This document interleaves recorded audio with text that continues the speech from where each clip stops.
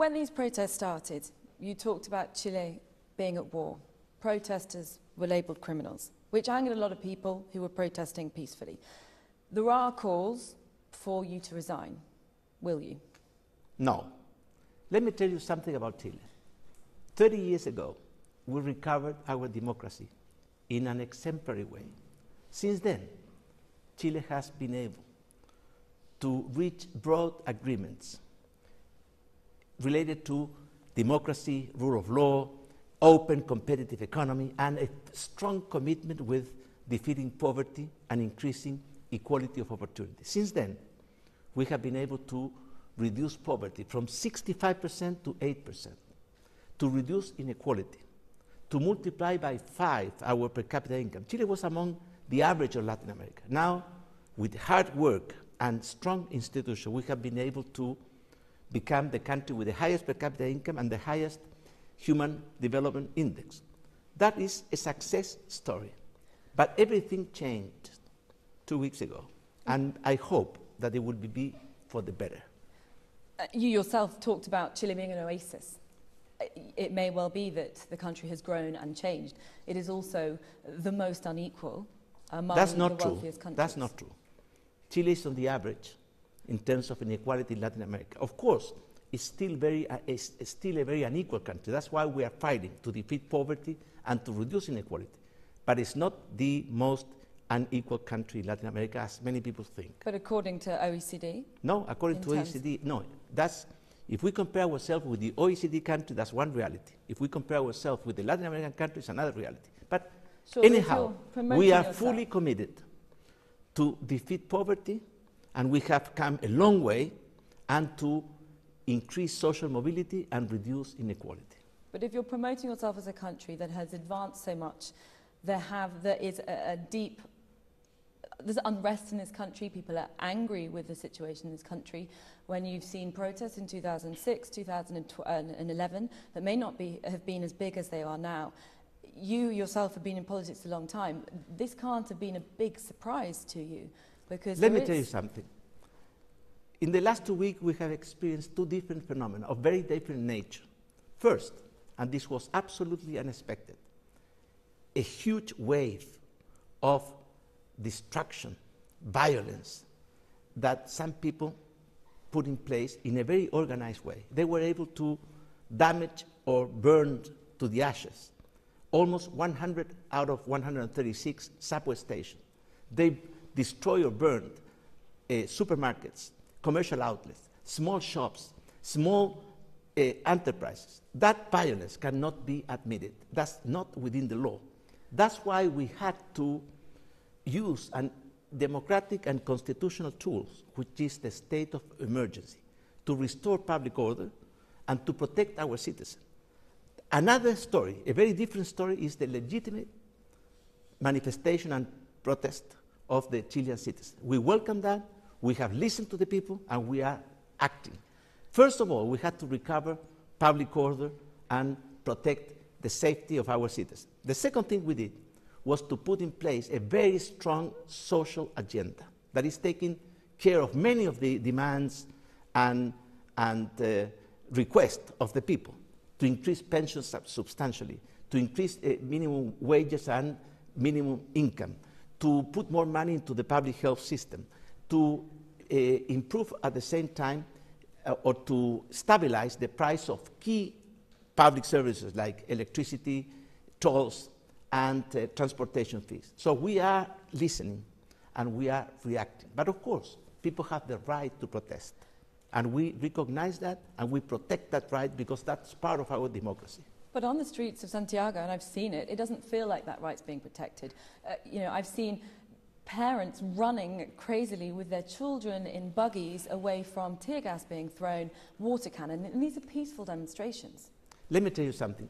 When there are these organized crime groups that use all kind of violence, that they are willing to, to, to burn to the ashes. That's a small amount. There was a It's, protest it's of a more than small a million amount, people. of course. That's why I made a clear distinction between those organized groups that are willing to destroy everything, and we cannot allow that. So how and at the same time, at the same time, we have millions of Chileans that are protesting.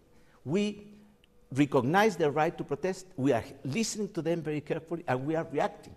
The problem is that when you have this kind of violence, the people that suffer the most are the most humble and the middle class people in our country. And that, that's why I regret so much the tremendous damage that this wave of violence and, and destruction has produced to low income people, to middle class people, and we cannot allow within a democratic state that people uh, think that they can do whatever they want, because at the end of the day, that will destroy our democracy and will damage most of our citizens. There's widespread condemnation of your forces, not just the army but the police, of using excessive force on peaceful protesters. The UN is currently in the country.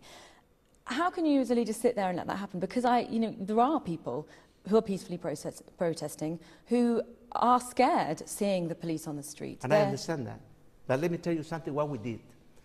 We had to, to call the state of emergency because that was the only way to restore public order and to protect our citizens.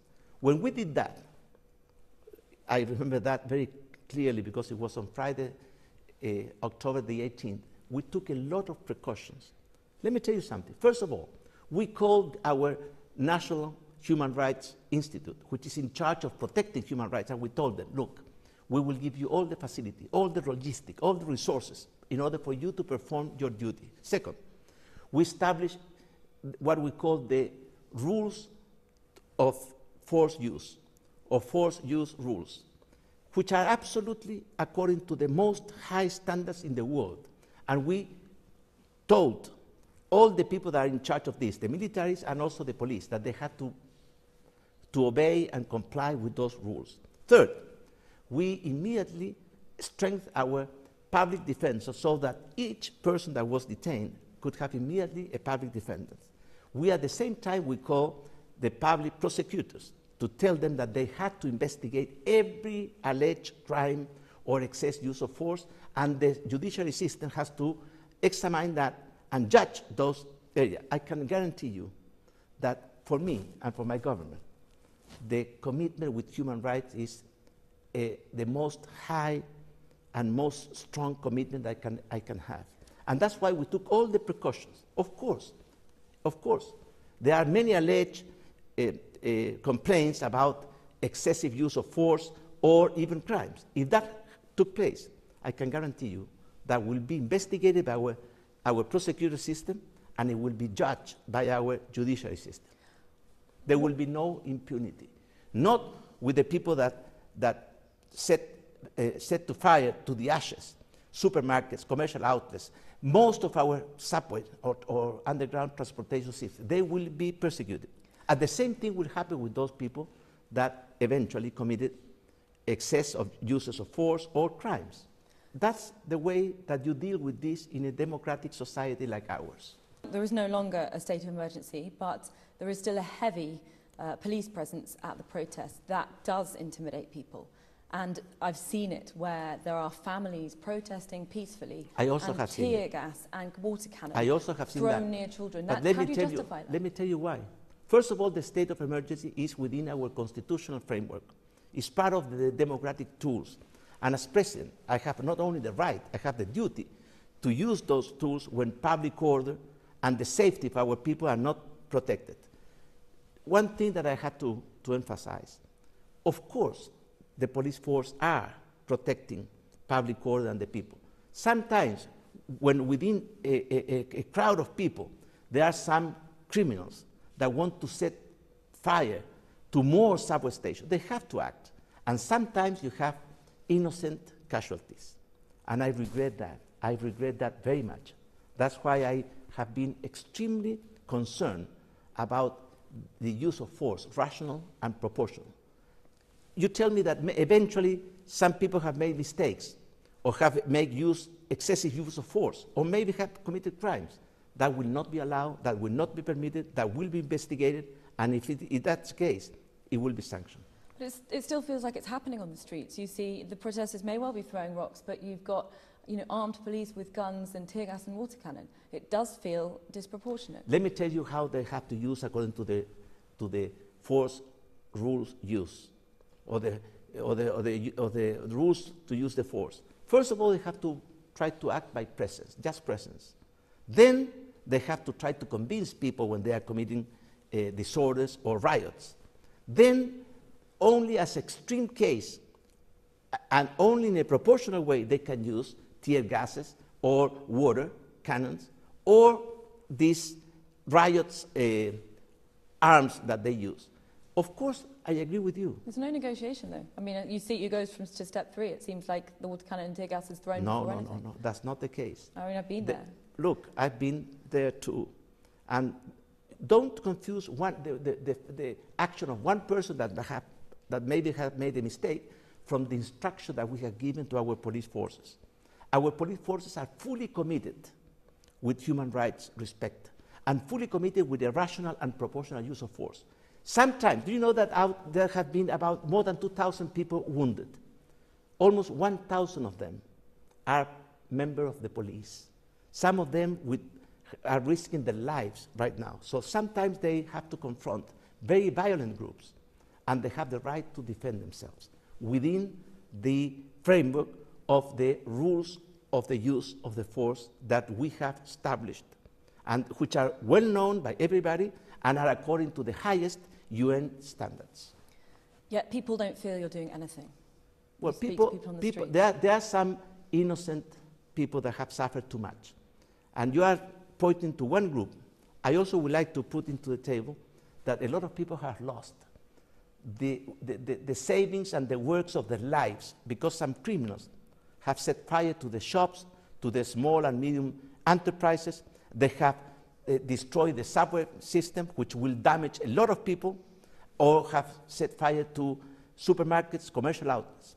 So there are two kinds of victims, innocent victims here. Those that have suffered because they were protected, and I really regret that, and those that have lost everything they had because of these small groups of organized uh, crime with, with using all the violence they can and not respecting anybody at all. As you say, it's a small group. The vast majority of Chileans seem to want a substantial change. Your approval rating is what 14%. Few people have faith that you're the person to do it, to make changes. Well, I have faith because my duty as president, and I swear to, to comply with that duty, is to improve the quality of life of our citizens. Now, But you've been a president before. It's not you're new, you're not new to this. People feel that you've you've been in this job long enough. Politics needs a substantial shake-up. People are calling for a new constitution. They want a new Chile. wait, wait a moment. People want a better quality of life. People want better pensions. People want, want higher wages, a better quality of life. They want better health, better education. They want many things. But don't make a confusion between what the people want from what some small groups that pretend to represent the people are saying. So what I'm saying is that I have heard, I have heard the voice of the Chilean people. That's why we put in four days a very, very powerful and strong social agenda that will imply a huge amount of resources to speed the process of improving our pensions, our incomes, the quality of education, the quality of health, and many other things that the, most of the people are demanding. So let me tell you something. As President of Chile, my first duty is to listen very carefully and in a very humble way to what the- my people are saying. Yet many people w- would disagree with that. They, the changes you've made, some people would argue that they're cosmetic. The cabinet changes perhaps haven't gone far enough. Uh, people Look, are look, calling look, but wait a moment. There are people that always we say that anything we do is, in, is not enough and that everything is cosmetic. How can it be cosme- cosmetic when we are doing things that have never been done in Chile? But nobody's convinced by I it. have, been, I have been in office for 19 months. Before me, the same people that are saying what you said right before were in government. And you were in government before that, so and, it's not and, new. And, and I was in government before that. So what, let me tell you something. This is not, this these problems have been accumulated for the last 30 years. and you're responsible for some of them. I'm responsible for part of it and I assume my responsibility, but I'm not the only one. What is important now? How, as a society, we react to what people are asking, what people are demanding, because I sympathize with those demands. Of course, I would like to solve all the problems in one second. I cannot do that. But what we will do is that we will improve the amount of resources and the quality of our social policies. That's why we're putting more resources, and we will have to run a higher fiscal deficit because there is no magic in this. To speed up the process, we are proposing to increase pensions by 20% within the next 30 days. We are proposing to increase minimum income from 300 to 350,000 pesos within the next 30 days. We are proposing to reduce the, the price of, of uh, medicines and stabilize the price of electricity, the price of tolls in our, in our highways, and the price of the transportation system. So we're doing many things that have never been done before. Now, some people will say that that's not enough. Well, they have the right to have their own opinion. I think that is a very strong effort that we are doing to listen to the people and to improve things that are key to the quality of life of most Chileans. The social agenda that we have put in front, part of it is in Congress, where it has been stuck due to opposition. This social agenda will improve the quality of life of 15 million Chileans out of 18. Will so it's a very powerful, a very vast, and a very deep social agenda. Will you be open to a new constitution that a lot of people are calling for? But of course, we're open to all the discussion. In democracy, everything can be discussed. But things need to be done, not just discussed. Actually, we have a system to, to reform, even to create a new constitution. But we have to use our democratic institutions. That's why, of course, I'm open to this discussion. There is a project that was presented by my, the former president of Chile, which has never been discussed in Congress. And I think that it's time to start discussing everything, including how to improve our constitution, how to improve our institutions. And at the same time, we're taking other measures. For instance, we will, uh, we will change the system in order to in- introduce more equality with, within different counties, because there are some counties in Chile which are very rich, other counties which are very poor. We are redistributing revenues between those counti- counties because we want we, we're fully aware that without growth and development, there will be no social justice. And without social justice, there will be no growth and development. Can you see how people are angry that perhaps politicians, the elite, um, are out of touch? That you, you, you, the fact that you, you know, started off by saying that Chile was at war and at started war, talking at, about moment, it. at war with violence, Okay. at war with crime, But it was at war with approach. poverty, at war with inequalities, of course. But it was an aggressive approach that annoyed a lot of people. It didn't help you. Uh, It, you know, and it painted you um, as a leader seeing at what's that happening time, at that time, in a bad light. let me tell you something. When we established the state of emergency, I think that every major in all the counties of Santiago were asking us to do that, because at that time the situation was getting out of control. Of course, that was the first step. The second step is to listen what the people are saying and to react immediately with action. That's why in four days we were able to put together a social agenda which will be extremely onerous in terms of public resources, but we think it's worth it. Your decision to deploy troops conjures up memories of a dictatorship. People felt uncomfortable with that. How do you think that you will be remembered in the history books? Look, I fought against all kind of uh, dictatorship or authoritarian government. I fought to recover our democracy 30 years ago. I was in that line, and for me, those times will never be forgotten. So I had in my mind that, that those uh, thoughts. That's why, together, simultaneously, with imposing the state of emergency, I took all the necessary provisions and precautions to protect human rights. Of course, I cannot guarantee that eventually, and I think that probably is the case, some of the military forces or the members of the police have you make use of excessive force, have committed crime. That will not be forgotten. That will be investigated and that will be judged by our judiciary system. And And, the same thing with the criminals that set fire to our transportation system, to our supermarkets, to our commercial outlets, to small shops, and to small enterprises, producing a huge damage. Will you so, take in democracy, you have to act by the rules of the democracy, and that's what we have done. but will you take responsibility for those human rights allegations if they do come? Of course, that I will not accept any kind of human rights violations. And if your, if your troops, if your police are found to have violated to the extent That that, will people be worried, investigated. Look, that ha- in, in a democracy, in a rule of law system, that has to be investigated by the public prosecutors and has to be judged by the, by the courts. And that's what will happen in Chile. and the man in charge will also be judged. Will Of that- course. Will your Of- job be tenable? Of course, that everything will be, have to be investigated. What happened with those people that set fire to, to everything that they found in their way, and the same thing will happen to those people that didn't act according to the rational and proportional use of force. Do you regret the way you've handled this crisis? Look, in the last two weeks, I have slept very little. I haven't had time.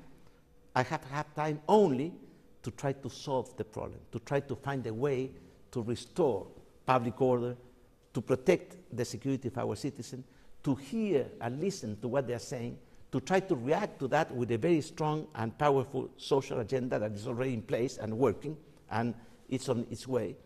And that's why, after we solve this problem, we will have all the time in the world to see what could have done, could have been done better. I mean, you talk about the social agenda working, but nobody, you speak to on the streets, people are still keen to go on the streets and keep protesting. It doesn't look like these protests are going anywhere anytime soon. So how do you classify working and success? Because if you speak to well, people on the streets, it doesn't course, seem successful. of course there are people protesting. Look, when you increase pensions by 20%, 20%, in all our history we have been able to, to build a pension fund system or a social system. We, have we will increase pensions by 20%. That will improve the quality of life of almost one, two million people. That's not the only thing that we're doing. We are raising minimum income. We are at the same time we are putting a, a, a, a floor to the expenses that people have to uh, undertake in terms of health by creating what we call a health insurance, which will be universal for everybody. We are stabilizing the price of many public utilities like electricity, tolls, uh, public transportation. We have done so many things in, these last few days that, of course, nothing is sufficient. Not even in the richest countries in the world, things are, are great. In every, in every country, you have problems. You have problems in, in, in the United Kingdom, we have problems in the US, we have problems everywhere. What is the, the duty and the responsibility of a president like me? To listen to the people and to try to listen very humble what they're saying and try to react to their demands. And that's exactly what we're trying to do. Thank you very much.